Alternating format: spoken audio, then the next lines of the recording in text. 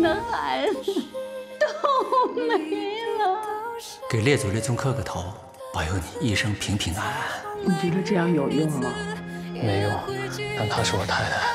你们还没结婚呢。我们已经领结婚证了。那好吧。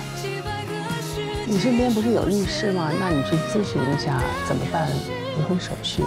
我不会离婚的。周一至周五晚间十点，中天娱乐台《一生一世》。